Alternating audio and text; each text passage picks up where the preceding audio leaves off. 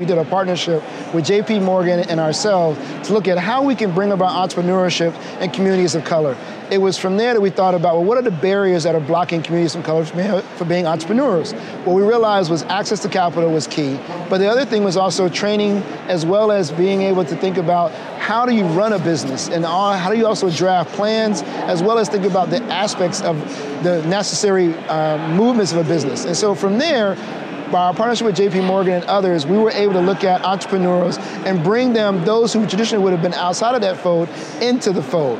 And not only do we have incredible people doing incredible work, but we've also been able to show how we've been able to make profit off of that investment in the fund that they're in, as well as we've been able to establish a number of businesses to be anchors now in the Detroit community.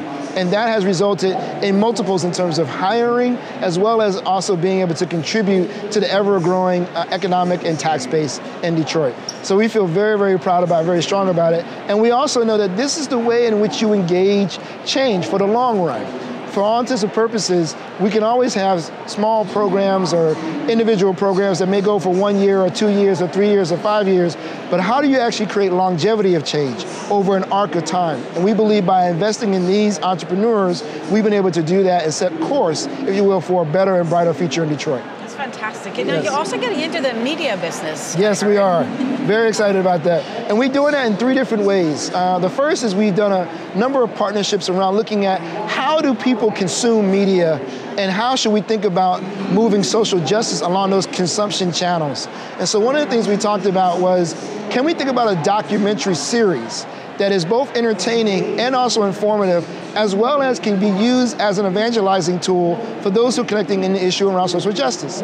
It was from there we partnered with a guy by the name of Norman Lear, the famed producer, if you will, from everything from the Jeffersons to the Good Times to what have you. And he gave us some of the most incredible pearls of wisdom.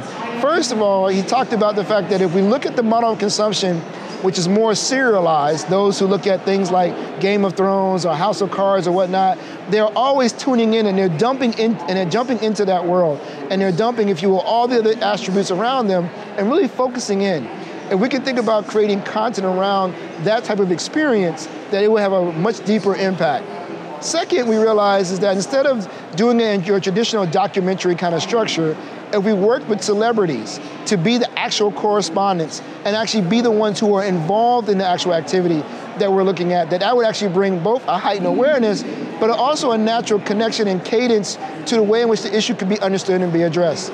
Third, is no social movement is, is, is without its own theme music.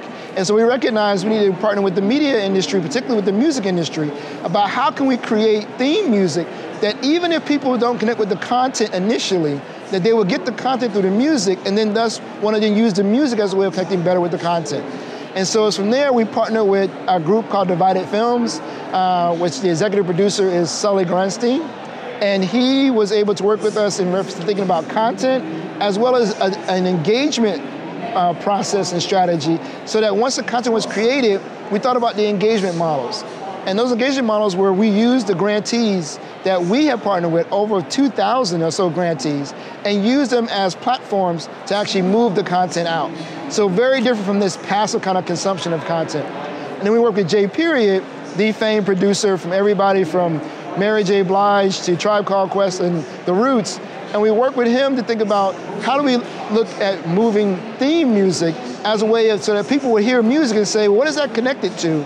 And then come across America Divided, which was our first uh, launch into this effort.